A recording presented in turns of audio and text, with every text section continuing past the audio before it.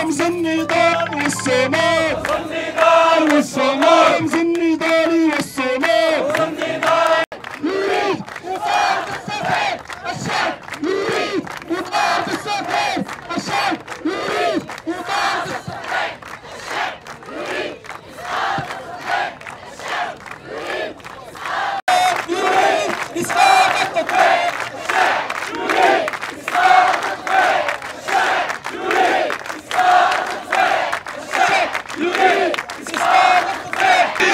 بسم الله الرحمن الرحيم. والصلاة والسلام على أشرف المرسلين. نقف هذا المساء هنا بساحة باب دكالة بمراكش الحمراء. كما يقف إخوان لنا كذلك على مستوى يعني التراب المراكشي ككل تنديدا بالعدوان الصهيوني تنديدا بالعدوان الصهيوني الغاشم.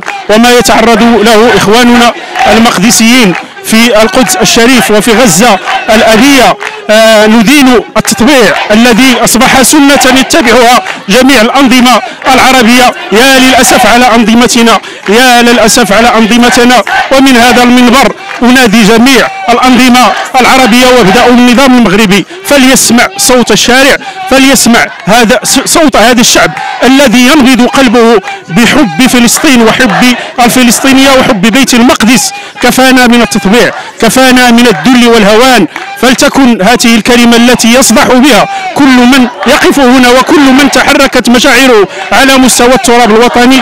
فليسمعها النظام فليسمعها النظام. ولتكن قراراته مستجيبة لما تتطلبه الظرفية. كفانا كفانا ذلا وهوانا كفانا ذلا وهوانا. إحنا اليوم من مراكش ومن جميع أنحاء المغرب نعبر عن تضامننا مع الشعب الفلسطيني. جراء ما يعيشه من عدوان وقصف عشوائي للمستشفيات وللمدنيين.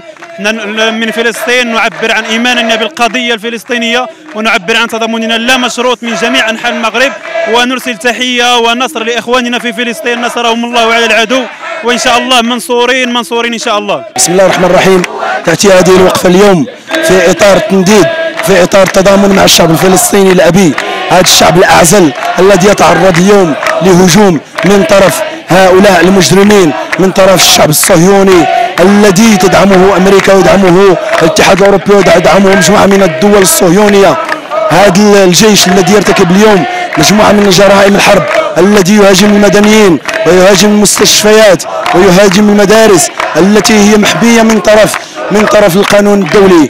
اليوم هذا هذا هذا الشعب الأعزل والشعب الغزاوي والشعب الفلسطيني الأبي يقاوم ويقاوم ويتعرض لمجموعة من القصفات من طرف هذا هذا هذا الجيش. اليوم نأتي من مراكش من المغرب من مباشرة من ساحة باب دكاله هذه الساحة الأبية التي عرفت مجموعة من الوقفات والتي عرفت دائما التنديد.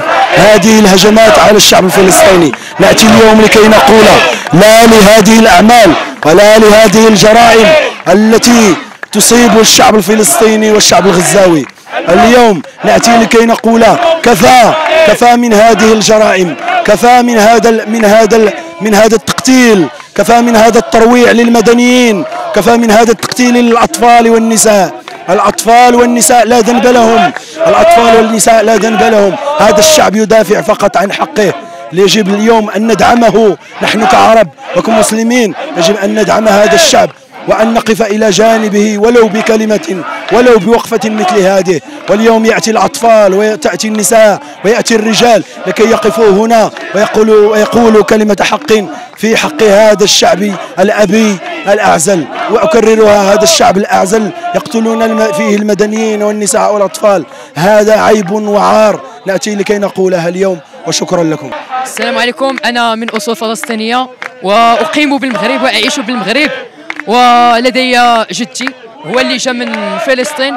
بعد ما تراو دوك اللي سميتو ما تراو داك 1948 كاع داكشي ترى 1940 دوك الحروب دوك المجزرات الصهاينة جاو جا المغرب باش يستقر ويعيش في سلام. والحمد لله لقينا المغاربة اللي تضامنوا معنا وتعيشوا معنا وتعاونوا معنا واليوم تنبغي نشكر المغرب والمغاربة والشعب المغربي على التضامن مع التضامن تاعو معنا ومع الشعب الفلسطيني. وشكرا بزاف. ما تنساوش تابوناو معنا في لاشين وتتابعونا على مواقع التواصل الاجتماعي.